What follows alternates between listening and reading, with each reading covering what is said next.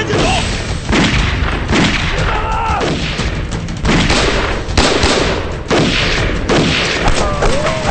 大连长，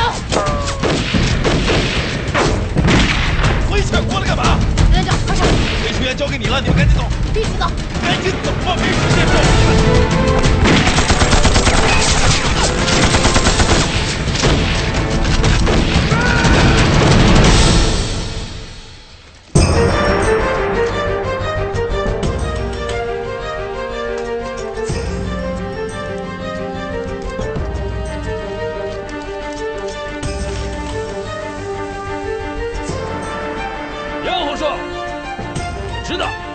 你已经没有子弹了。作为男人，我希望你站住。作为职业军人，我们单独来个了断。你怎么回来了？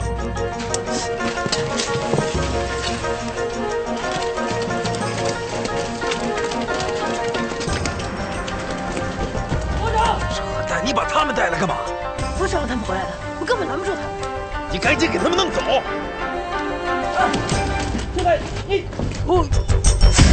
杨连长是吧？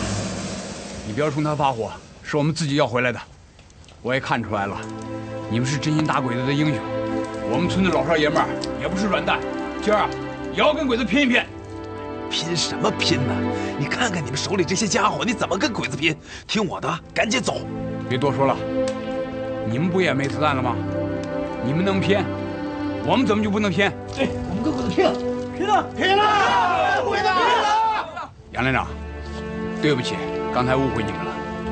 我也看出来了，你跟冯队长都是一样打鬼子的英雄。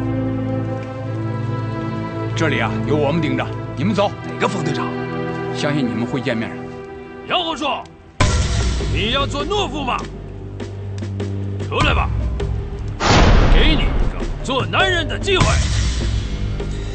你听我说，啊，趁着他没发火，这会儿有时间，你们还能走，听见没有？一会儿真走不了了，秀才，我交给你的任务你要完不成，我就弄死你！赶紧滚！是，杨红硕，你想当英雄是吗？不想听你说话，闭上。我告诉你，不是时候。杨队长，妇女和孩子都已经转移了，我们老少爷们既然回来，就已经想好了。别胡闹！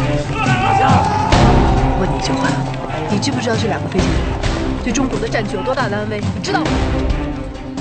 难道忘了接受任务的时候上级的吩咐？我现在明白，撤。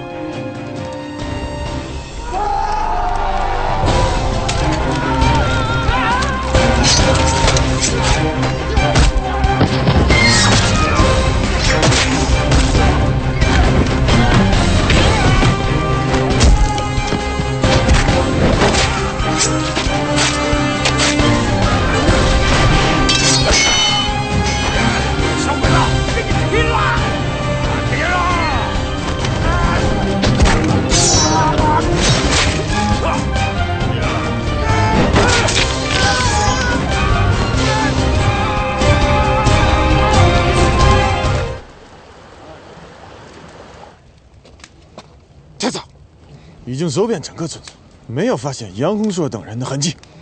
这个村子大日本皇军为敌，全灭させろ！嗨，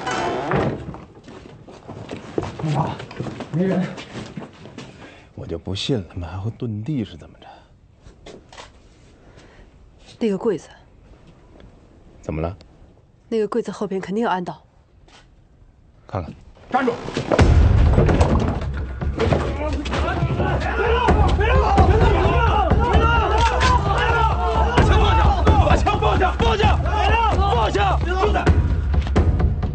太君，干嘛要赶尽杀绝呀、不就是刚才打了这位军爷吗？再说也没打着，至于吗？鬼子，你误会了，我是中国人。误会，小日本，中国话说的还不错。告诉你们，老少爷们今儿豁出去了，不是你死就是我亡。那就试试谁厉害。干嘛呀？飞行员就在眼前，不能再因为别的事情耽搁了。你也不能冲老百姓开枪啊！行了，别装了，乡亲们，小鬼子侵占我们的家园，霸占我们的土地，烧杀抢掠，无恶不作。你来皮！等等等等，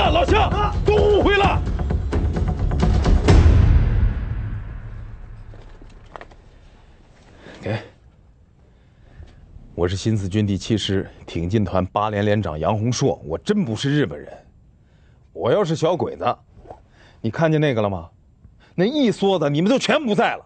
皇上，皇上，皇上，皇上，不好了！听见了吧？真正的小鬼子就在外面，我们是来执行任务，身不由己穿上这身皮。咱们现在最应该做的是齐心合力把小鬼子打走。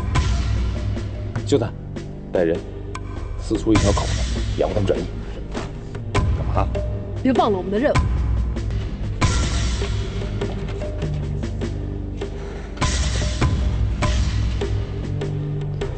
李淑媛，是。还有炸弹吗？有。增援。部长，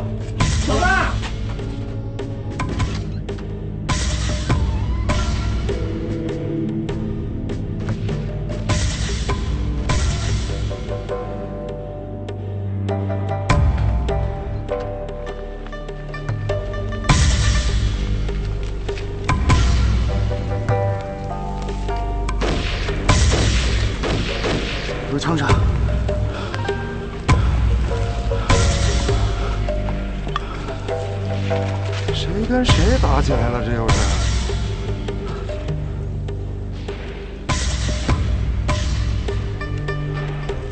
要不撤？啥？没事，没事，没啥。不是你倒回去，你刚说啥？撤！这你说的，马四儿，撤，听你的。那飞行员不救了？马四儿，你说，那个外国人是不是肯定比董子辰重要？嗯。马四儿，你摸着良心说，我从带着你以来，是不是没做过那么赔本的买卖？从来都没有。平心而论，我冯景这样是不是已经特别对得起赵子壮了？你说，特别对得起。